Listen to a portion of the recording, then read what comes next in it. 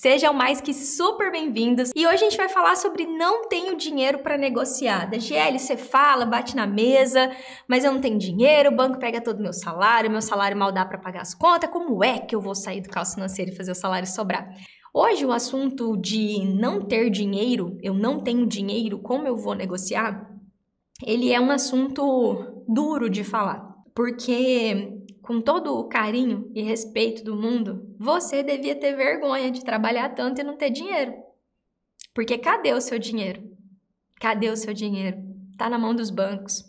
E quando eu falo que você devia ter vergonha, não é uma vergonha de se esconder debaixo da mesa, é uma indignação. Por que, que eu trabalho tanto e o meu dinheiro não sobra? O que é que foi que eu fiz que eu me coloquei numa situação onde eu vivo refinanciando cartão Hoje eu falei com uma moça que pegou uma maquininha de cartão para passar a maquininha do cartão, é, para passar a maquininha do cartão no cartão para sacar o dinheiro. Uma grande bagunça. E o salário não sobra. E aí você começou a viver desse jeito, a sobreviver, porque você sabe que isso não é vida. No fundo, você sabe que você não está vivendo, que você está sobrevivendo. E você pode, é, pode parecer duro isso que eu vou falar, mas eu tenho que chamar a sua atenção para você pensar o seguinte: o que é o meu salário não sobra na prática? Na prática, o que, que é isso? Então, peraí. Então, o que você está me dizendo é o seguinte: eu trabalho para caramba. Eu trabalho para caramba, eu vou lá trabalhar, o meu salário tem um contra-cheque. Se eu sou autônoma, eu não tenho contra-cheque, o dinheiro entra. Se eu sou assalariado, o banco desconta, uma, o banco não, o meu salário vem com vários descontos, inclusive os bancários, os consignados. Mas tem um salário líquido. Você vai me dizer que 100% do seu salário é descontado no contra-cheque? Você está querendo me dizer então que seu salário fica tudo para o seu emprego, você nem recebe? Não, isso, é, isso é mentira.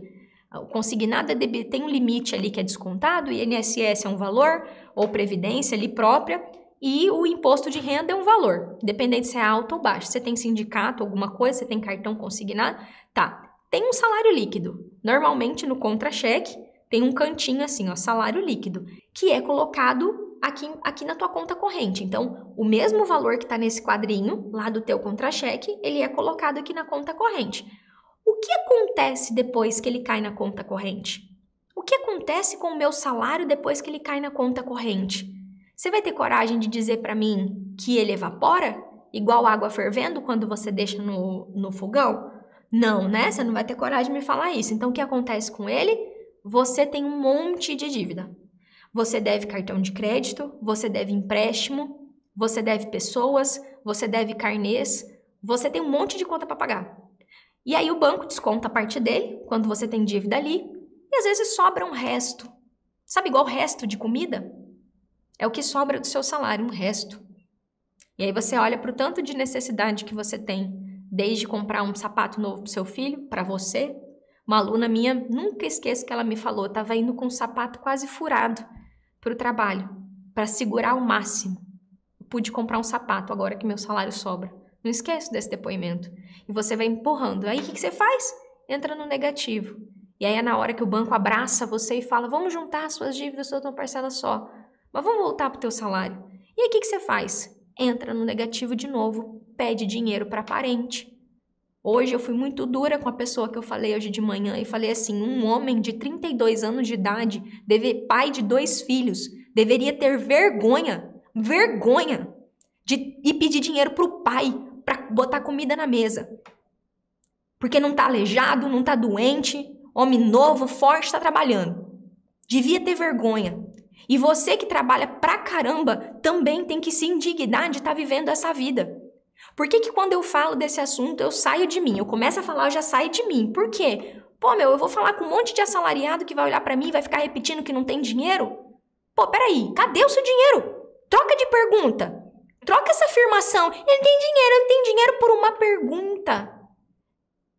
E eu não tô aqui para jogar pedra em você. Eu tô aqui para você se indignar igual eu fico indignada. Quando eu atendo uma aluna como a Flávia, que eu conversei ontem, e eu abro o extrato da mulher e me tem 900 reais de salário lá para uma mulher adulta de 60 anos passar o mês e que mora de aluguel. Como uma mulher de 60 anos que mora de aluguel, que por ter 60 anos precisa comer carne ou comer proteína, que seja, se que ela ainda brincou, né? Ah, eu fazia umas receitas veganas porque não tinha carne. A gente tem 60 anos, comer, comer proteína, é, na verdade, depois dos 30, 40, a gente tem que comer mais carne, proteína, por causa da B12 que tem lá na carne. Uma mulher de 60 anos não ia ter carne no mês, ia ter que pedir ajuda para os filhos para passar o mês, e meio que tava assim, ó, há anos. Anos. Então, o que eu tô falando aqui não é lição de moral, é a realidade de muitos brasileiros. E por que, que a Flávia se permitia ficar nessa situação? Porque ela estava se comportando como uma escrava do banco. Do tipo assim, ah, é assim, não tem o que fazer. Então, se você não se indigna, se você não fica doido aí do outro lado, não se revolta com essa situação, na boa, esse aqui vai ser mais um videozinho que sua vida vai continuar aí do jeito que tá. Para conseguir sair dessa história de não ter dinheiro, a primeira coisa que precisa acontecer era uma revolta. Uma revolta, gente, revolta que uma revolta que transpareça nos seus poros. Ah, Dage, mas eu tô triste. É revolta, não é tristeza, não é deitar e ficar em posição de sofrimento, é levantar e falar: opa, peraí, isso aqui não é normal. Pode ser comum, pode ter um monte de piada na internet, mas normal não é. Então, quando, quando eu vou falar desse assunto, normalmente eu escancaro a coisa assim, bem como ela é. Para você lembrar das vezes que você foi no supermercado e falou: putz, queria comer uma manteiga, mas não dá, vamos comprar margarina mesmo. Queria comprar um azeite, não, vamos levar um óleo. Nossa, queria levar um. Esses dias eu comprei a 100, né? Carne a 100. E aí eu peguei a carne e falei assim: ah, eu achei essa carne de acém meio, meio engordurada. Da próxima vez eu vou comprar patinho. E poder comprar um patinho ao invés de comprar um acém, coisa simples do dia a dia, ou quiçá poder comprar. Ou se você não chegou nesse cenário aqui de faltar para o básico, que eu cheguei lá atrás, eu cheguei nesse cenário, você olhar e, e, e, várias coisas na sua vida, você não poder às vezes trocar o telhado da sua casa, não poder arrumar seu carro que está caindo os pedaços, não poder arrumar uma, uma porta do guarda-roupa e você e vai vivendo. E todo dia aquela porta está emperrada e você vai empurrando. Então, essa indignação, quando ela começa a surgir, você vai começar a buscar a solução, como você está fazendo aqui. Então, tudo que eu falei até aqui não é para bater. É para que você fale assim: opa, peraí, eu tenho que me indignar. Porque quando eu falo assim, não tenho dinheiro, eu não tô dizendo que você tá, você tá mentindo que você não tem dinheiro, que você tá, tá, não, eu sei que você não tem, mas por que você não tem? Cadê o meu dinheiro? É essa coisa que eu quero que grita aí no, na, tua, na, na, te, na tua cabeça. Por quê? Eu tenho uma parte dessa, desse problema que são as dívidas e eu tenho uma parte desse problema que foi causado pela falta de conhecimento, pelos gastos errados, pelas escolhas erradas que você cometeu, pelos documentos que você assinou. Eu li, aceito e concordo.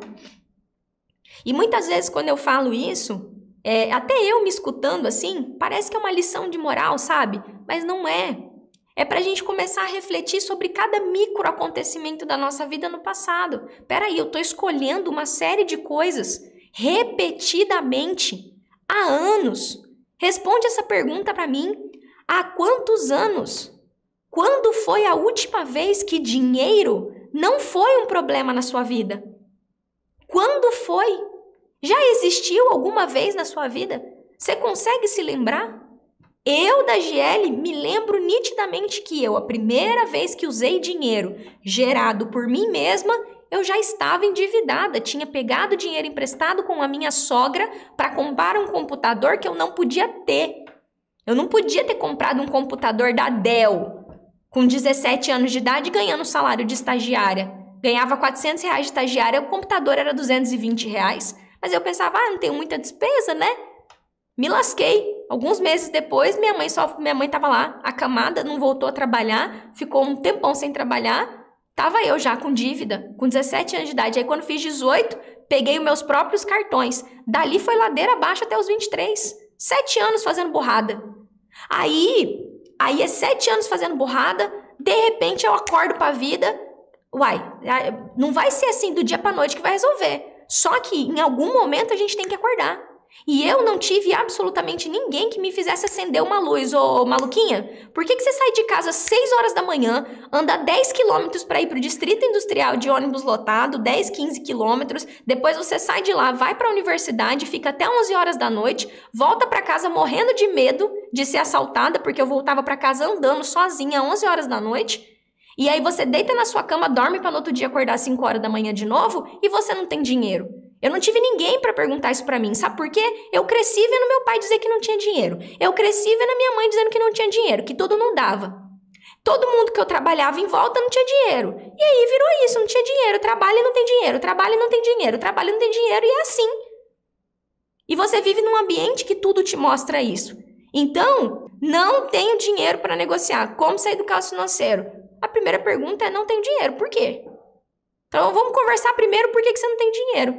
Aí ainda tem isso. A Lúcia tá me falando aqui. Eu vendo tru, trufas para vender, né? É, não sei como fazer para investir. Lúcia, meu conteúdo não é para você. Aqui eu não ensino a investir. Aqui eu ensino a sair do caos financeiro e fazer o salário sobrar. Mas eu peguei seu comentário porque assim como a Lúcia, eu peguei e fui fazer, fui pegar lingerie para vender. Então, além de eu fazer essa rotina que, graças ao bom Deus, eu consegui trabalho muito cedo, então eu já trabalhava ia na faculdade, era uma rotina assim, aí eu levava minhas lingeries na faculdade e no trabalho para vender, e o dinheiro continuava não tendo. Porque os comportamentos e escolhas que eu fazia sempre me, me levavam a não ter dinheiro. E aí começaram os empréstimos, os dos cartões e dos limites. Quando a gente, quando a gente começa por aqui, a gente fala assim, então tá, então eu tenho dívida e eu tenho um monte de outras coisas que me trouxeram até aqui. E não adianta você olhar só para a dívida, a gente vai ter que olhar para as duas coisas. Mas quando você fala que você não tem dinheiro, você está numa escravidão financeira com os bancos. Qual é a primeira coisa que eu preciso fazer? Vamos pensar juntos. Eu tenho algumas opções.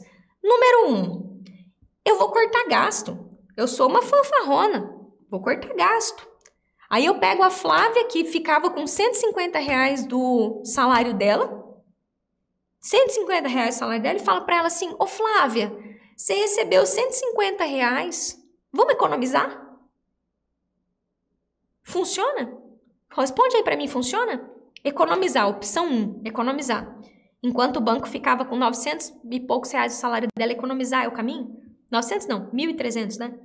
1.200. É o caminho economizar? Opção número 2. Vou apontar o dedo na sua cara e falar: você, é um, você gasta muito. É só parar de gastar. Vai nos meus anúncios. Vocês vão ver um monte de gente sem noção, sem um pingo de noção da vida, que vem falar com quem está endividado, dizer bem assim: para não ter dívida é só não gastar. E agora que a pessoa já, tá, já gastou, já errou, já tá sem já tá cheia de dívida. É a mesma coisa que você olhar para uma pessoa que está na beira do precipício para se suicidar e falar para ela bem assim: "Já tá aí mesmo, agora pula". É a mesma coisa você falar isso para uma pessoa que está com dívida. Vai lá olhar para Flávia e falar para ela: "É só não gastar agora que ela está com 150 reais de salário". Agora eu tenho uma terceira opção, que é, primeiro, tirar você da lama, que é a lama do banco pegar todo o seu salário. Então, quando eu falo que clareza, preparação e negociação são os três pilares do meu método, porque eu passei praticamente 12 minutos aqui falando para vocês de clareza. Vocês me perguntam sempre: como é que eu protejo meu salário? Como é que eu protejo meu salário? Mas a pergunta não é como é que eu protejo. A pergunta é: para que carambas eu vou proteger o meu salário? Peraí, vamos ver se eu entendi. Então vamos lá. Eu tenho que proteger o meu salário do banco, porque eu estou numa escravidão, porque o banco pega todo o meu salário. E aí, obviamente, eu vou lá e tento negociar e o banco não negocia comigo, porque o banco pega o meu salário. Por que, que o banco vai negociar com você? Marcelo me dá um exemplo que eu gosto muito. Pensa assim, ó. O ladrão tá com a chave da sua casa. Aí você vai ligar para ele e vai falar assim: Ô, oh, seu ladrão, abre não. Não abre não, seu ladrão. Deixa para amanhã. É a mesma coisa que você faz ligando pro banco. Ô banco, tudo bem? Meu salário vai cair amanhã. Tem como a gente negociar meus débitos? Para ao invés de você pegar o meu salário inteiro, você pegar só um pouquinho? É a mesma situação. Tô dando um exemplo bem, bem exagerado aqui para vocês entenderem. Por que, que eu tenho que proteger o meu salário? Porque enquanto o banco pega meu, seu salário, ele não vai negociar com você. Não tem porquê. E isso é uma afirmação que a DAG está fazendo com base no que ela acha. Né? Eu não tenho nenhuma lei que diz isso. Que o banco não negocia com quem, com quem o salário está na conta. Me responde aqui. Quem que está aqui que já tentou negociar com o banco que recebe salário e não conseguiu? Coloca eu para mim. Vocês sabem como que eu descobri a proteção salarial? Eu sempre soube que existiu a resolução, que hoje é a 5058. Eu sempre soube que sempre existiu a resolução 4790. Trabalhava no banco, Cacimba. Claro que eu conheço essas resoluções. Eu só eu, eu descobri a proteção salarial depois que eu saí do banco, a, a, descobri a proteção salarial, não, a importância dela. E eu comecei a atender os servidores do estado do Mato Grosso, que é aqui onde eu tô. Eu moro em Cuiabá, para quem não sabe, né? Eu comecei a atender os servidores do estado que recebem no Banco do Brasil.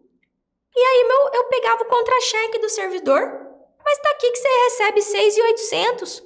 Por que, que você tá recebendo só 4? Ah, por causa do CDC salário. Aí chegou de eu ir aqui no estilo em Cuiabá. Eu fui na agência, eu fiz isso uma vez na minha vida, para nunca mais, né? Eu mesmo ir junto com a minha cliente. É, fui lá junto com a minha cliente. Não, tem como negociar, o salário cai, vai pegar direto, sua taxa é boa, não dá para negociar. A quantidade de gente dizendo eu. E a minha vontade de voar no gerente, né? Inclusive foi ali que eu falei assim, eu nunca mais posso entrar numa agência bancária e sigo nessa nesse processo até hoje, né? Não entro numa agência bancária.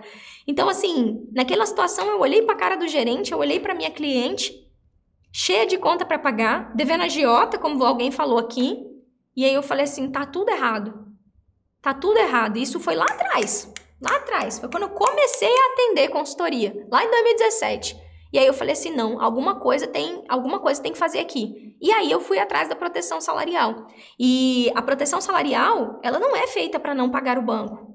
A proteção salarial não é, não adianta. Se você proteger o salário, utilizar a resolução 5058 e a 4790 e você, por livre e espontânea vontade, decidir dar calote no banco, isso é um calote premeditado. Você vai cavar uma cova para você mostrando que você, além de eu não pagar, eu ainda estou tirando meu salário de propósito.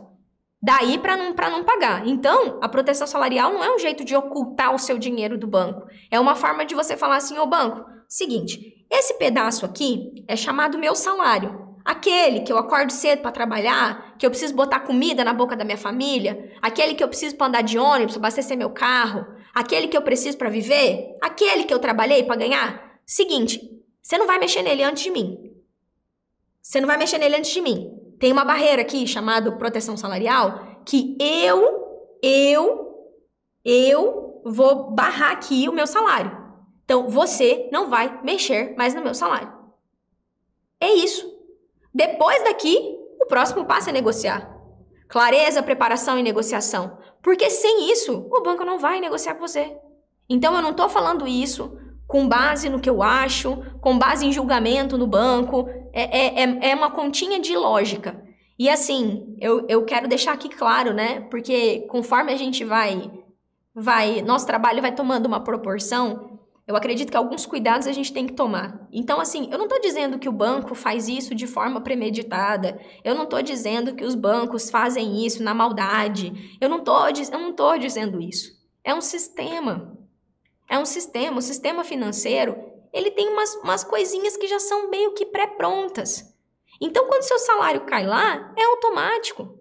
Aí você pergunta por que, que é automático? Porque você autorizou. Você assinou lá, eu autorizo o banco descontar e você nem lembra. Ou vai dizer que você tem a cópia da sua abertura de conta corrente aí. Ou vai dizer que você tem a cópia de todos os contratos.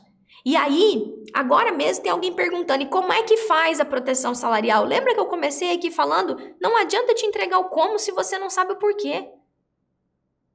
Calma. Por quê? Vocês falam para proteger, proteger o salário. O que, que adianta falar para proteger o salário? Você vai lá, protege o salário e vai dar o calote no banco? Vai ser executada judicialmente, vai ter um puta de um problema. Eu tenho que dizer para você que não pode fazer essas coisas indiscriminadas assim. Aí quando eu entendo a importância, e aí eu quero dizer, quero fazer uma pergunta aqui para vocês. Vocês gostariam, né, de proteger o salário de vocês? De antes do banco mexer, o salário de vocês estarem protegidos? É, só você responder sim ou não. Tem uma pessoa que falou para mim assim: "Nossa, a primeira vez que eu vi o meu salário, eu nem acreditei". E, e quando começa, isso começa a ficar claro, a gente vai vai falar da proteção salarial agora. Então, quando a gente fala da proteção salarial, muitas dúvidas surgem, né? Mas e aí, como é que vai ficar os meus débitos no banco? Mas e aí, como é que vai ficar aquele produto que eu pago no débito automático? Mas e aí, como é que né? Então você tem todo, você tem todas ali as dúvidas que surgem com relação à proteção salarial. Mas a proteção salarial, ela é uma coisa que, ao mesmo tempo que ela é simples, ela é complexa. Por quê? Porque os bancos vão fazer de tudo.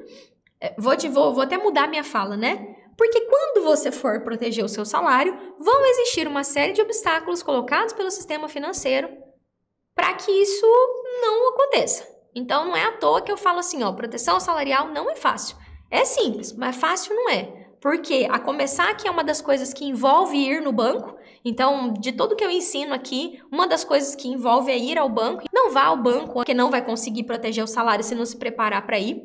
E aí, quando a gente fala de proteger o salário, basicamente é: eu tenho o seu pagador o seu pagador, ele estabeleceu uma regra para você receber. Então, por exemplo, aqui no governo do estado do Mato Grosso, o governo falou: "Nós pagamos no Banco do Brasil através de conta salário". Essa é a regra. Então, ele dá uma carta pro funcionário público abrir. CLT é a mesma coisa. Tem empresa que fala: "Eu pago através do Itaú, através de conta salário", porque toda vez que o banco, que o, que o seu trabalho Toda vez que o seu trabalho te exige receber num determinado lugar, aquilo tem que ser uma conta salário. A conta salário é uma conta que tem uma característica bem específica. Por que, que ela é bem específica? Porque só a empresa pode abrir, empresa ou órgão público, e só você pode movimentar. Então, ela é uma conta que blinda o seu pagamento. E isso é, é garantido pela Resolução 5058. Agora, pode ser, são cinco formas de recebimento. Pode ser que você tenha livre opção. Livre opção é quando tem, se eu não me engano, servidor federal, eu acredito que tem isso, mas eu não tenho certeza, porque são muitas hierarquias ali, muitas sub, subdivisões. Mas é quando você fala assim, eu quero receber na conta corrente do banco tal. Você tem livre liberdade de receber no banco que você quiser. Muito raro. Segunda forma, quando o seu pagador diz assim, ó, a gente paga por conta corrente, mas só pode ser no Santander, no Banco do Brasil e no Itaú. Isso é muito comum nas forças. É exército, aeronáutica, marinha. O próximo é a conta salário. Então, é essa que eu acabei de explicar, a conta salário. E tem também algumas empresas e serviço público que fala assim, ó, é conta salário, mas você pode abrir no Brasil, no Bradesco e mais um. Então, tem a conta salário também que é com opções e tem quem é do INSS. Então aqui a gente tem cinco, né? Então a gente tem cinco formas de recebimento. Só que independente das formas de recebimento, tanto quem é do INSS quanto quem tem conta salário, então eu tiro aqui a livre opção, porque a livre opção, inclusive, é para os autônomos. O autônomo não tem salário, não tem empregador. Então ele só vai direcionar o dinheiro dele para um outro banco que não seja esse que ele está tentando negociar. Quando eu falo da conta salário, a primeira coisa que eu vou ter que garantir é eu tenho uma conta salário? Se eu não tenho, eu preciso ir lá no meu RH e conseguir uma carta para abrir essa conta salário, porque eu já disse, mas vale repetir: somente o órgão, somente a empresa pode abrir conta salário. Você não abre. Você não consegue abrir uma, uma conta salário. E qual que é a característica da conta salário? O empregador faz a cartinha com seu CPF e o CNPJ dele, é como se fosse um casamento. CNPJ, CPF. CNPJ é o númerozinho da empresa. CPF é o seu númerozinho. Vai lá no banco e a conta salário vai ter um número que pode inclusive ser o mesmo número da conta corrente, mas ela vai ter um vínculo com o CNPJ. Só que o que aconteceu? Pode ser que você já teve essa conta. Pode ser até que você tem e não sabe. O banco foi lá e falou assim: ah, para abrir conta salário? Ah, lá do tribunal? Ai, que legal! A gente tem um monte de benefício aqui para você. Ó, vamos abrir a conta corrente, nananã. E você não sabia dos seus direitos, foi lá e falou: tá bom. Aí o seu salário que tá na conta salário, é transferido automaticamente na conta corrente e você regulou tudo isso aqui. E você vai usou tudo isso aqui. Então assim, você o seu salário vai sair de aqui e vai vir para cá porque você autorizou. Então eu tenho que, como número um, romper esse elo aqui. E já existe uma resolução para isso. Resolução número 5058 do Banco Central, que quebra esse vínculo. Então a resolução tá lá, tá escrito. Resolução 5058. Aí você vai lá no banco, o gerente vai falar para você assim: "Não tem como fazer essa opção, senhora. Não tem como fazer essa opção, senhora". E aí entra o primeiro obstáculo. Vai ser um, uma briga mesmo. Esse desvínculo aqui é a primeira briga. Aí o pessoal fala: "Ah, tá, mas eu fiz portabilidade". Beleza, se você fez portabilidade, você conseguiu romper esse vínculo aqui. Só que sem a conta salário, não faz portabilidade. A, a portabilidade é da conta salário para conta corrente. Então, sem conta salário. Mas peraí, se eu não tenho conta salário, acabei de falar, o RH que tem que dar a cartinha para abrir. Então, o primeiro, a primeira dificuldade é aqui. Aí, se eu sou do INSS, o meu INSS ele paga no banco em conta salário, que chama conta benefício, não é conta salário, é conta benefício. Tanto INSS como LOAS, qualquer benefício que é pago pelo INSS, auxílio doença, é por conta benefício. E lá no INSS tem a opção de você trocar de banco.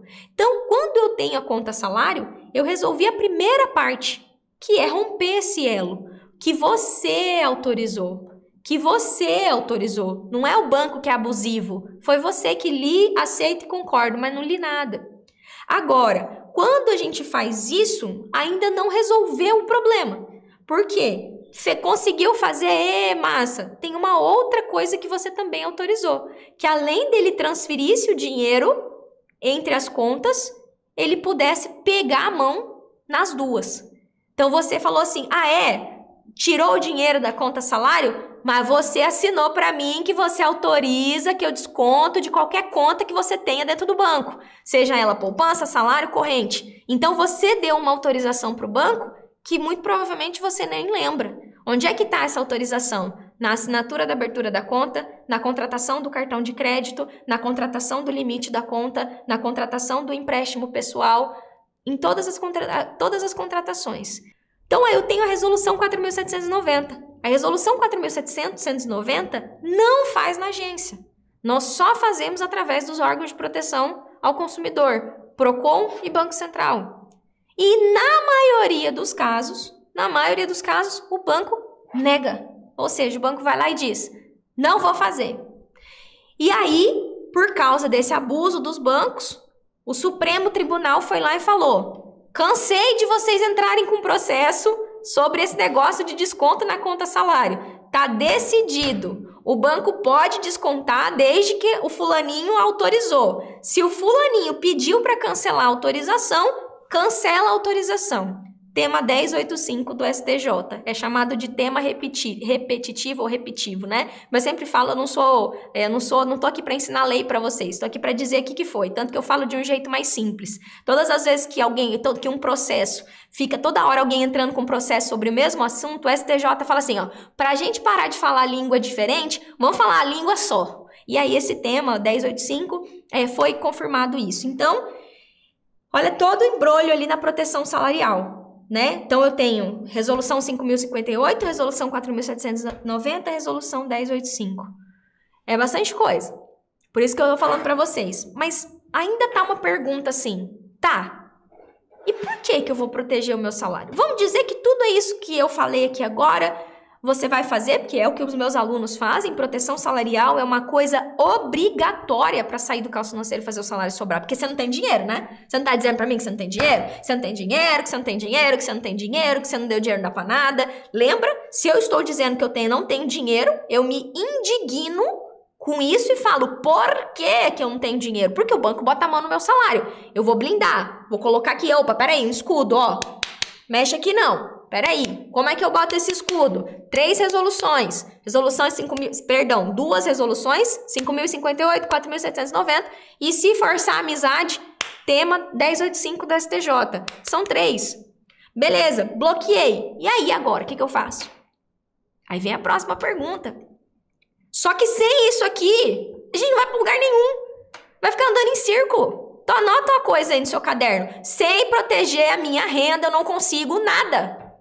Sem proteger a minha renda, eu não negocio. Sem proteger a minha renda, eu vou continuar correndo atrás do rabo.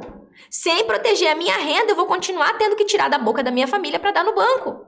Sem tirar, sem proteger o meu salário, eu vou continuar tendo que olhar pro meu filho e dizer para ele que não dá para pedir uma pizza. Sem proteger o meu salário, eu vou continuar tendo que trabalhar com o sapato quase furando. Sem proteger o meu salário, eu vou ter que continuar trabalhando igual um escravo para todo o meu dinheiro ir para pagar juro. Faz assim, ó. Não sei se vocês são da época que tinha aquele desenho do. que eu não vou lembrar agora, gente. É os Simpsons. Né? Os Simpsons era um da. Tinha lá o um menininho, quando ele fazia alguma traquinagem na escola, ele tinha que escrever mil vezes que ele não ia fazer mais. Para mim, eu, eu falo tanto de proteção salarial aqui, que eu, de verdade, é o que eu acredito que vocês deveriam fazer. Sem proteger o meu salário, eu vou continuar tendo que economizar no mercado. Sem proteger o meu salário, eu vou continuar sem poder dar uma aula de natação pro meu filho. Sem proteger o meu salário, eu vou continuar e todas as dores que você está vivendo por, por viver essa escravidão. Faz uma lista do que, que você está vivendo. Faz uma lista. E, é, e sou eu que tenho que mostrar para você que você está passando por isso muitas vezes. E que você está permitindo. Eu falei sobre isso esses dias, a porta está aberta. Falei, ó, três escudos. São três escudos que você tem. A porta está aberta, você que não está querendo sair. Talvez você fez isso até aqui porque você não sabia que podia ser diferente. Se você está aqui vendo esse vídeo agora, a partir de agora, todas as vezes que você for em algum lugar está com medo do seu cartão não passar, a partir de agora, todas as vezes que seu salário cair e você vê que o banco pegou tudo, e você continuar passando por isso, a responsabilidade é toda sua. Porque aqui eu mostrei para você que não precisa ser desse jeito. Então, se até aqui foi como foi, foi porque você não tinha educação financeira, foi porque você não sabia dos seus direitos. Que isso aqui não tem nada a ver com economizar, economizar. Tem nada a ver com organização financeira. Isso aqui é direito seu, que você não sabia que você tinha. Viu esse vídeo meu, olhou aqui no fundo dos meus olhos, agora é com você. Continuar nessa escravidão. E eu vou ser muito dura aqui com vocês agora. 99% das pessoas que estão aqui vão continuar. Eu tô procurando 1% que vai se indignar. E aí eu quero que vocês me respondam aqui. Vocês são os 99 ou 1? Por quê? Eu tenho. Olha o tanto de seguidor que eu tenho. No YouTube, no, no Instagram. É 99 criticando o que eu faço e um mudando de vida. É 99 vivendo a vida do pão que o diabo amassou e um mudando, falando assim: não, eu vou mudar. E eu tô falando de porcento, tá? Para ficar mais fácil. Eu vejo isso todo santo dia, porque são 60 milhões de brasileiros endividados. Quando você abre o G1, o pessoal adora dizer: mais uma vez teve a pesquisa de não sei na onde. 75% dos brasileiros, das famílias, estão sem conseguir pagar as suas contas e você ainda está lá, lendo a notícia, enquanto não tem di direito de ir no mercado direito. Então, eu fui dura aqui na minha fala para dizer de hoje em diante, o que acontecer a partir daqui para frente é com você. Por que, que eu tô sendo tão dura? Porque tem uma galera que me acompanha aqui há meses e não protegeu o salário, não fez nada. Fica aqui, assiste live, assiste live, assiste live. Ai, que legal, eu gosto da DGL.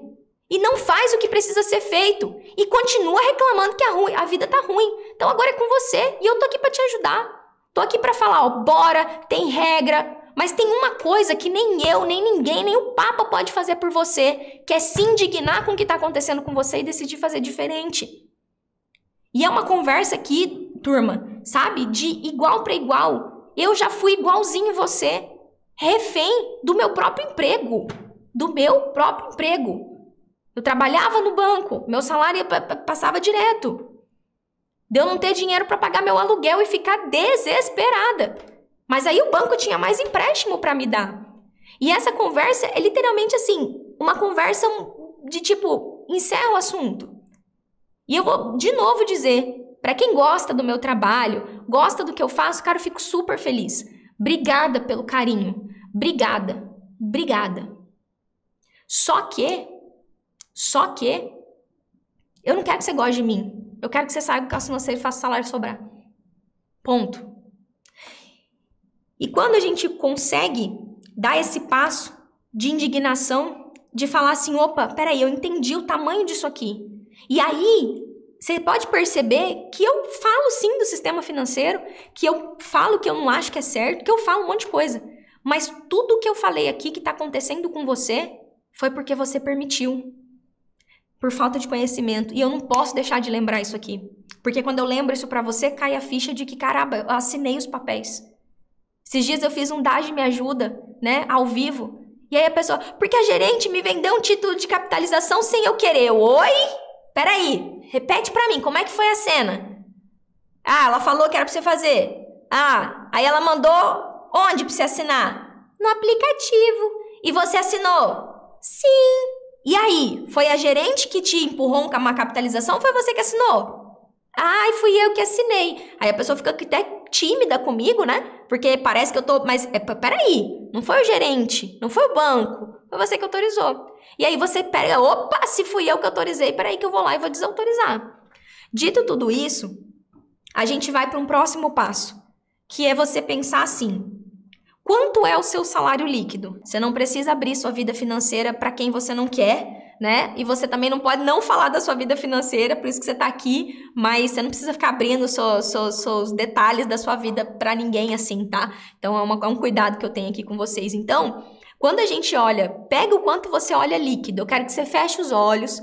Não precisa fechar aí ao vivo, mas tenta lembrar a tela lá do computador ou do celular que você viu o seu contra-cheque. Se for dois, lembra dos dois. E você lembra do seu salário líquido. Lembra do seu salário líquido, tá? Lembra do seu salário líquido. Meu salário líquido é tanto. Então você sabe que aquele valor é líquido. Já faz muito tempo que você, pela sua desorganização financeira, nem olha, talvez nem entra mais no seu contra-cheque para conferir.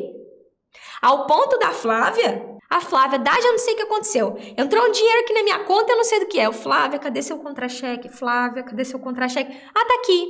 Eu, Flávia, é seu salário, amor. É seu salário aqui, ó, 1.400. Mas eu não ganho isso. Falei, ah, tá, mas aí você tem que perguntar lá no seu emprego por que, que eles te pagaram mais, porque tá aqui é seu dinheiro. E o banco não meteu a mão nele, é seu dinheiro. E ela, ela assustou. Fazia tanto tempo que ela não via 1.400 reais na conta inteirinho, limpinho. Ela assustou. Assustou mesmo, de verdade. Assustou. Assim, Mano, que isso? E aí você pensa no seu salário líquido agora. Pensou? Coloca pensei. Ah, e só um pouco. É, fazer um comentário aqui. É, eu falei das resoluções. E quando eu falo da proteção salarial, é tipo eu dizer para vocês que tem um pote de ouro no final do arco-íris, parece, sabe? Que aí vocês inventam todas as coisas do mundo. Vocês vão dizer que o banco não autorizou, que você foi lá e o gerente não fez, que não sei o que lá, que não sei o que lá, que não sei o que lá, não sei o que lá. Como eu falei, a partir de agora, continuar assim é com você. Você pode assistir esse vídeo aqui 50 vezes. Eu falo disso em todo o meu YouTube. É seu direito, a resolução é tal, a resolução 4790, ela é feita no Banco Central e no Procon. Tá aqui. Quer continuar? Aí já é, quer continuar dizendo que não dá, porque no meu caso, porque no meu banco, porque no meu emprego, é com você. Só lembra que todas as vezes que você for no mercado e não conseguir comprar o que você quer, é porque sem proteger o seu salário você não consegue negociar. Você só vai ter que lembrar que a responsabilidade é sua, pelos papéis que você assinou e que você não está querendo ir lá cancelar a autorização. Ponto. Aí fica claro. Sabe? Porque não tem mais. Não tem um o quê? Não tem. Para não dizer que não tem exceção, só tem duas situações que proteger o salário não é que não pode. Proteger o salário é, é diferente. É quem tem uma, um financiamento com taxa bonificada, que tem que ler o contrato, ver se a, possibilidade, se a portabilidade realmente é, um, é uma garantia, e para quem trabalha em banco. Porque realmente tirar o trabalho para quem trabalha em banco, a coisa ali é um pouco mais complicada pelas questões que podem envolver o trabalho da pessoa. Só tem duas pessoas que podem fazer um mais aqui. Só. O resto tudo tá, tá, tá, tá, tá, tá, tá, tá, tá. Aí assim, vai ter gente que vai falar bem assim: ai, mas a proteção salarial não sei o que lá. Eu já falei que é só você e o seu trabalho que pode mexer. Mas você não quer acreditar, sabe por quê? Quando eu pedi para vocês pensarem no dinheiro de vocês, enquanto vocês ganham, você quer pensar em tudo quanto é coisa menos que é possível que eu reassuma o controle da minha vida. Sabe por quê? Quando eu jogo o controle da vida de vocês na mão de vocês, sabe o que, que meu aluno normalmente fala para mim quando ele recebe o salário dele inteiro? Agora, assim, Ele olha e fala assim: Nossa, parece que eu, eu, eu tô tão acostumada a viver sem dinheiro, a pagar o cartão e usar o cartão, que eu pego o cartão de débito e eu fico tremendo. Meu Deus, é no é, é, débito. Eles falam: é, é um vício. É um vício. É vicia. Acostuma a viver mal. E eles ficam com medo. A Flávia falou ontem: eu tenho medo de me vislumbrar com o meu dinheiro. Do tipo, quando eu recebi 150 reais de salário, eu sabia ligar para minha filha e falar: filha, me ajuda. Mas quando eu recebi 1.400, eu falei assim: meu Deus, e se aquele comportamento meu de comprar errado voltar? A pessoa fica desconcertada quando recebe o primeiro salário. Vou contar isso para vocês, porque isso vai acontecer com vocês em algum momento. Recebe, a pessoa fica desconcertada. Por quê? A, a possibilidade de ter o seu salário e a sua vida de volta parece que é uma grande palhaçada. Né? Parece que não, isso não é possível. Como assim eu vou, eu vou ter o controle do meu dinheiro, aquele que eu trabalho igual um condenado para receber? Que eu pego não, não? Percebe? Não, não cai. Aí vocês começam a falar um monte de coisa. Porque no meu caso, porque no meu governo, porque pode descontar isso, porque não pode. Toda hora chega um comentário aqui. Não, porque pode descontar isso. Mas pode. Mesmo eu tendo falando, não pode. Não pode. Não pode. Pode descontar pensão, mas pensão é na contra-cheque. Não pode. Pode descontar isso. Não pode. O salário é seu. Tá lá, tá lá a Constituição, salário empenhorável, tem a, resolução. Então, eu vou ficar aqui 10 horas repetindo a mesma coisa se eu não sair desse assunto. Então, se você pensou no seu salário, volta lá onde eu estava. Você pensou no seu salário? Agora que você pensou no seu salário, tá aí um número na sua cabeça. Até lembrei do meu contra-cheque no banco, que eu entrava todo dia 27 para ver meu contra-cheque. E agora eu quero que você pensa no valor da fatura do seu cartão. Pensou? Aí você vai falar assim, tá, pensei. E aí? Como é que é? Salário líquido versus cartão de crédito. Quem é maior que quem? Quem é menor que quem? Aí vem a seguinte pergunta. Peraí, por que eu não tenho dinheiro? Eu não tenho dinheiro porque o banco pega meu salário antes mesmo que eu veja meu, meu, meu salário. Aí depois disso, ele vai lá e desconta o cartão de crédito, desconta o negativo, desconta. Aí eu tenho que usar o cartão de novo. Mas peraí, mas quem gastou o cartão? Vamos lá. Eu. E aí você vai olhar para agora o seu salário líquido e a dívida e vai falar assim: eu fiz um DAS me ajuda hoje. Vou tangibilizar aqui. não sei quanto a pessoa ganha, mas deu para imaginar ali que a fatura era 3 mil e pouco. Aí ela falou assim: se ele pegar todo o pagamento e pagar a fatura, dá. Então eu divago que a fatura, é, ele ganha 3 mil e pouco. Aí eu fiz a, a, a do, falei assim, tá, a pessoa ganha 3 mil e pouco e tem uma fatura de 3 mil e pouco. Eu preciso re, realmente, agora, agora eu quero vocês aqui, adultos que estão começando a entender que o endividamento que vocês têm tem dois responsáveis. O banco, com essas monte de coisa que ele dá para você assinar e você não lê, e você, que além de assinar sem ler, gastou o crédito que ele te deu. E agora a gente vai precisar arrumar essa bagunça. E aí eu tenho essas duas coisas aqui, o seu salário e o cartão de crédito. E isso que eu nem entrei no, isso que eu nem entrei no carnê de loja, isso que eu nem entrei nos empréstimos, nas parcelas de empréstimos, isso que eu nem falei do seu carro, isso que eu nem falei de outras coisas. E aí agora eu quero é, passar uma informação simples para vocês, que é até simples de entender. Se você olhou o seu salário líquido na sua mente e você colocou assim uma listinha mental, mensal, mental das suas dívidas, né? Cartão de crédito, o empréstimo, a parcela do carro, a parcela da casa, os carnês, o imposto que eu tô devendo, o IPTU que eu não paguei, você vai chegar à conclusão de que o que você ganha versus as dívidas que você tem, essa conta não fecha. E eu não tô falando de sortear boleto. Vocês não sejam malandrinhos comigo, não. Eu tô falando de pagar tudo. Tô falando assim, ó, recebidade, meu salário. Se, se o banco não mexer nele, no líquido, não tô falando dos consignados, no líquido, eu consigo, assim, ó, pagar tudo e viver no débito. Vocês, você é meio tupetudo aqui com vocês, eu duvido. Porque 99% das pessoas que eu converso sobre isso aqui não fecha. Aí o que, que a pessoa faz? Como a Denise, minha aluna, falou, sorteia boleto. E, peraí, vamos lá. Eu recebo 8 e eu tenho que pagar 10. Então, peraí. É, a fatura é 6. Então, eu vou pagar 6 a fatura. Porque aí eu posso usar de novo, tá? 6. Sobrou 2 mil e eu tenho o condomínio, a escola é, e eu tenho o carnê da loja tal. É, já sei. Eu acho que a escola eu vou jogar pro mês que vem. Aí vai ficar duas. Mês que vem eu dou um jeito. Mês que vem vai melhorar, vai entrar o décimo terceiro. Então tá. Eu vou pagar o condomínio, vou pagar o carnê e o resto eu fico aqui para abastecer o carro. E, e assim, a pessoa tá plena que aquilo ali é o jeito certo. A pessoa tá plena que ali é o jeito certo. E aí, mês que vem, ela faz tudo isso de novo. Porque ela ficou agora com o limite do cartão. E aí tá rodando a vida assim, tá rodando a vida assim.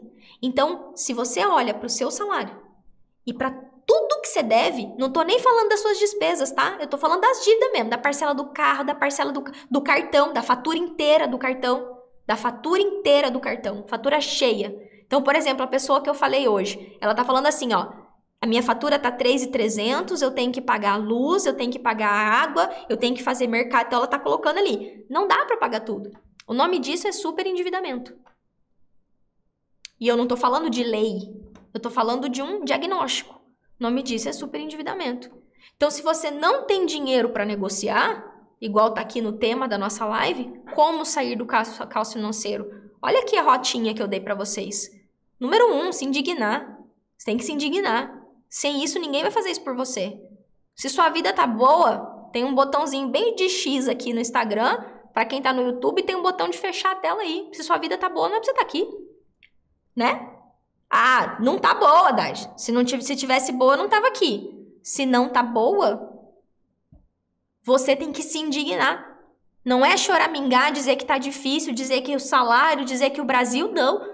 Se indignar e resolver, porque você tem responsabilidade na parada e o banco também. Vocês dois, vocês dois, você e quem te emprestou e você que usou, tem responsabilidade na parada. Entendi isso. Número dois, proteção salarial. Sem proteção salarial, eu vou continuar na pindaíba. Sem proteção salarial, eu não vou conseguir pegar o meu dinheiro.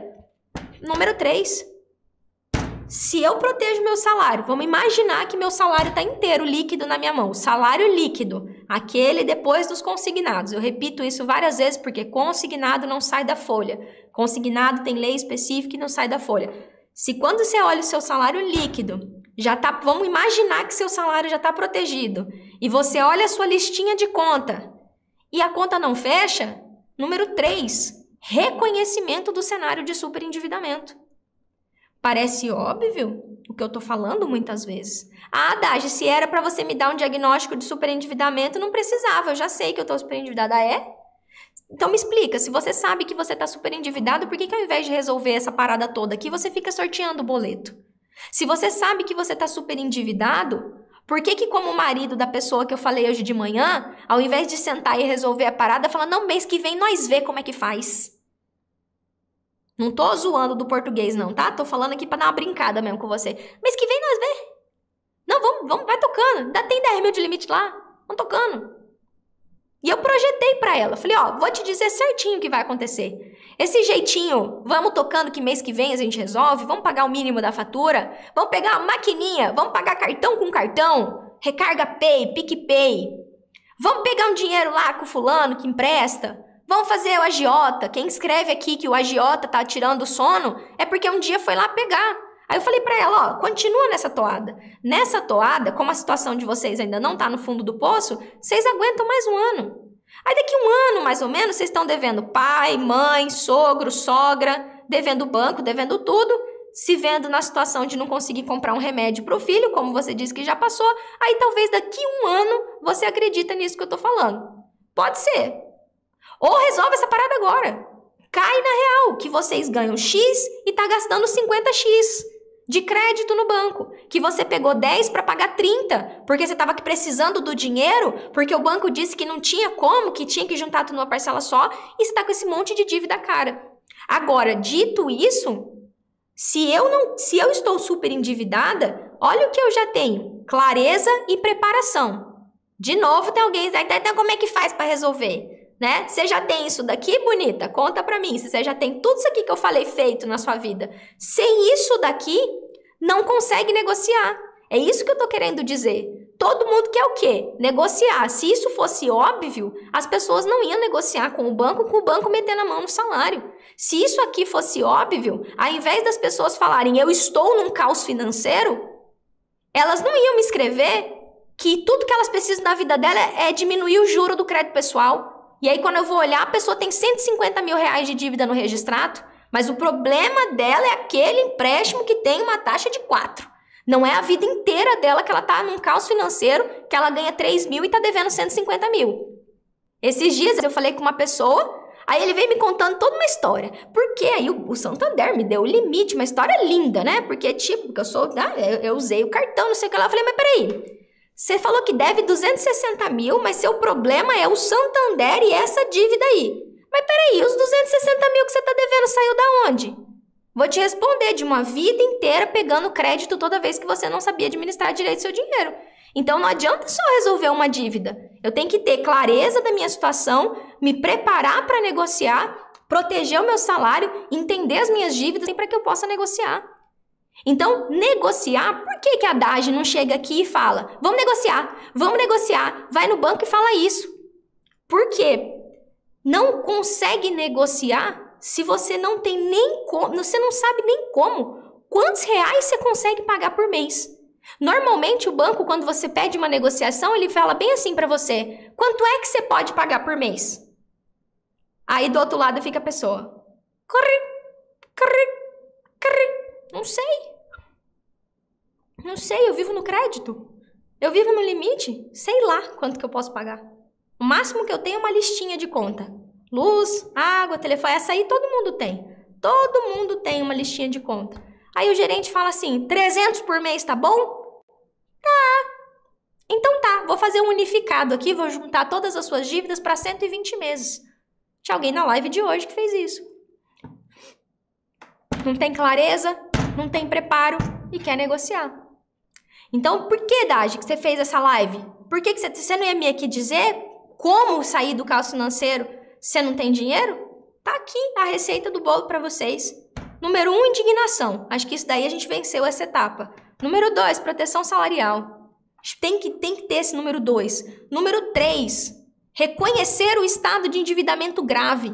Porque uma pessoa que deve, digamos que você deve só um cartão, porque normalmente quem deve só um cartão me fala assim: ah, eu devo só um cartão. Aí eu falo: ah, tá, você deve só o cartão, a dívida mais cara do Brasil. O juro mais alto que tem praticamente no Brasil, cheque especial e cartão. Você deve só o cartão? Ah, eu ganho 3 mil e eu tô com 13 mil do cartão. A próxima fatura é 3.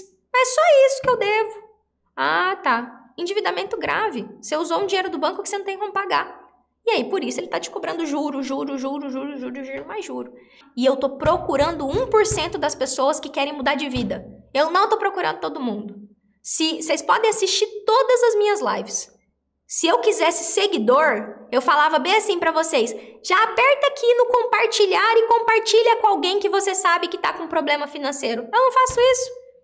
Por quê? Cada pessoa tem um tempo. Quantas vezes você já chegou pro amiguinho e falou assim: Amiguinho, faz isso aqui. Não, vou fazer do meu jeito. Então, às vezes, a Denise mesmo me contou esses dias, eu falo pro pessoal lá do meu serviço, faz o reset. Não, depois eu vejo isso aí. Então, eu, por que, que eu não fico falando assim? Ah, você pode compartilhar se você conhece alguém que está precisando, mas se eu quisesse um monte de gente, eu ficava aqui, compartilha, curte para aumentar o engajamento, sei lá. Isso é legal, é. Mas eu tô procurando gente comprometida. Se depois dessa nossa conversa aqui, você entender que o melhor para sua vida é deixar ela do jeito que tá, ou você não gostou da minha cara, tá tudo bem. Tá tudo bem. Só você sabe o quanto tá custando deixar a vida do jeito que tá. Essa é uma parada você com você. Quando eu tava passando por isso, eu não tinha ninguém para conversar. Ninguém. Primeiro porque eu tinha vergonha. Segundo porque eu era extremamente nariz em pé. Eu achava que eu sabia tudo e que eu ia resolver. Terceiro, porque eu tinha medo de ser demitida. E quarto, porque não é comum as pessoas conversarem de dinheiro. Não é comum, isso é um assunto íntimo. Você bota, às vezes as pessoas têm mais facilidade de falar de sexo do, do que do dinheiro, de dinheiro. Então, se quer deixar a vida do jeito que tá, tudo bem. Você tem uma segunda opção. E essa, essas opções todo mundo tem. Para tudo na vida, a segunda opção é, fica aí batendo cabeça sozinho. Você tem essa opção. Muito provavelmente você já está aí há algum tempo. Por isso que eu falo da galera que me acompanha há um tempão. Ser muito direta com vocês. Eu não quero. Aqui a, a minha audiência se renova o tempo todo. Eu não quero que as pessoas fiquem me seguindo eternamente. Eu não sou uma blogueira que todo dia vai trazer uma novidade da vida para vocês. Eu não quero que vocês fiquem aqui eternamente. Eu quero que vocês saiam do caos financeiro e façam o salário sobrar. E aí a gente vai para outro estágio. O que é que eu faço agora que meu salário tá sobrando? Já negociei a dívida. Como é que é a vida agora? Eu vou viajar igual a Denise vai viajar de férias com os filhos. Trouxe ela, veio aqui para Cuiabá, levei ela para jantar. Essa é a vida além do horizonte. Que é possível sair do caos financeiro e fazer o salário. Vamos conversar de outra coisa. Quer que você aqui eternamente. Então tem gente que tá me acompanhando aqui, ó não proteger o salário, continua no cheque especial, continua não sei o que lá. Meus alunos, eu falo sempre que eu não passo a mão na cabeça deles, não. Hoje, uma aluna minha, falei com ela logo cedo hoje, falei assim, ô, oh, minha aluna, obrigada pelas suas palavras de carinho, de todo o coração. Mas se você não fez o que tem que fazer, não adianta você gostar de mim. Vai lá e faz o que tem que fazer. Porque ela escreveu, porque eu te adoro, porque isso, porque aquilo, mas não fiz. Porque eu perguntei pra ela, você fez? Ela, ai, Dade, que bom falar com você, porque não sei o que lá, não sei o que lá, não sei o que lá, não fiz. Aí eu já respondi de cima para baixo. Falei, ó, oh, peraí, não adianta você gostar de mim. Obrigada pelo carinho, recebo, também gosto muito de você, obrigada pela confiança no meu trabalho, mas cadê feito? Vai fazer. Por que não fez? Ponto, encerrei esse, o assunto. Eu falei, assim, não quer que você goste de mim. Obrigada por gostar de mim, que bom que você confia no meu trabalho, mas tá com o método na mão, vai lá fazer. Vai lá fazer. E aí ela falou, não, beleza, vou lá fazer. Então, para você entender assim, você tem a opção de continuar assim, meio que, ah, eu vou ver, eu vou ver um negócio, depois eu vejo e continuar. E tem muita gente que fica aqui me acompanhando, que não tá tipo, dane-se, depois eu vejo, mas não, não age. E que eu quero que, que eu acredito que tem ajudado muito as pessoas que me acompanham aqui, é um exercício que eu faço de projetar. Porque quando a gente está no caos financeiro, a gente não projeta. Porque a gente só está olhando para o caos, o problema, não tem dinheiro, não tem dinheiro, não tem dinheiro. Eu quero que você projeta. Dinheiro você já não tem, não é verdade? Dinheiro você já não tem. Ficar falando que não tem dinheiro não vai resolver. Então a gente vai precisar começar a resolver. Esse é meu convite aqui. Mas quando você olha para frente, eu quero que você projeta. Eu quero que, como a mãe hoje, que tem uma bebê de dois anos e uma de nove meses, como é que vai estar tá a vida se vocês continuarem nesse caos daqui seis meses? Daqui um ano? Projeta. Quais são os sonhos que você já deixou de sonhar por causa de dívida? E por falta de agir, gente. Por falta de tomar uma decisão e falar, vou resolver. Por falta de falar, essa bronca é minha, vou resolver, porque se não for você, vai ser quem? Quem que vai cair do céu? O pessoal me escreve assim, tem algumas pessoas que me escrevem bem assim, se eu te mandar meu problema, você resolve aí para mim? Eu falo, eu não, tô fora, tenho filho desse tamanho, eu te ajudo a resolver. Resolver por você eu não resolvo, não. E ninguém pode procurar o melhor consultor financeiro da galáxia, pagar lá 100 mil para ele, ele vai falar assim: isso aqui que você tem que fazer, ó. Porque é, é sua parada. Assim como o nutricionista não vem com uma colherzinha e fala assim, ó, toma. Não, ela te dá a dieta e fala, segue. O educador financeiro não vai falar para você, ó, tá aqui, ó. Pode te dar todas as orientações, assim como eu. Te dar Mas você vai ter que botar a mão e fazer, é a sua vida. Se não for agora, vai ser quando? E se não for aqui, vai ser onde? Se responde isso e começa a projetar a sua vida. Tá com dificuldade de projetar a sua vida? Olha para trás. Onde é que você estava um ano atrás? A vida andou para frente ou para trás? Me conta, quando você ganhava menos do que você ganha hoje, você administrava melhor o seu dinheiro? Ganhar mais resolveu o seu problema? Cortar gasto, tirar lá a TV a cabo, fazer um monte de coisa, resolveu o seu problema? Tá funcionando esse jeito de meio que faz uma coisa, não faz, tá funcionando? E projeta a sua vida. Porque, para mim, eu vou falar o que funcionou para mim. Funcionou projetar. Eu falei assim: eu sou gerente do banco. Todos os dias eu vou, enfio nas pessoas a faca que me faz chegar à noite em casa e chorar no chuveiro. Então vem o senhorzinho lá, que tá devendo 70 mil, e tudo que eu tenho para oferecer para ele é um crédito unificado para juntar tudo numa dívida só. E ainda se eu faço, levo bronca porque fiz taxa muito boa, né? Beleza, aconteceu isso comigo já. Aí eu falei assim, aí tá, o que, que é o meu próximo passo?